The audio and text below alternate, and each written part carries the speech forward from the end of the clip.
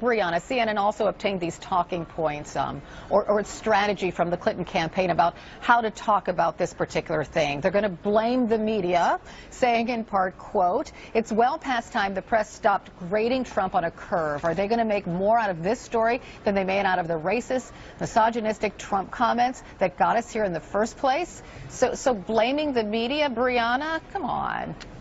Well, I generally find that when that is the strategy, uh, that just tells you that they're not they're not coming from a place of strength. Any campaign that is going after the media, that that's really what that tells you. But also to Gloria uh, Gloria's point about the fact that Hillary Clinton was sick at the time. I mean, imagine Carol, her top aides looking back on this now, because we all know that if you are sick, and especially if you know pneumonia is no joke, if if you are ill uh, you're not feeling your best, you're not performing your best at work. I think everyone can agree with that. And so they're looking now back at this and realizing she had a diagnosis of pneumonia on Friday, pushed through with her schedule on Saturday, and they were not transparent about the pneumonia. Imagine if they had just been, said she's going to uh, lay low, for a little bit. She's going to go to the 9-11 memorial, but otherwise she's going to get some rest. And you would have these two huge issues that have made for the worst weekend of her campaign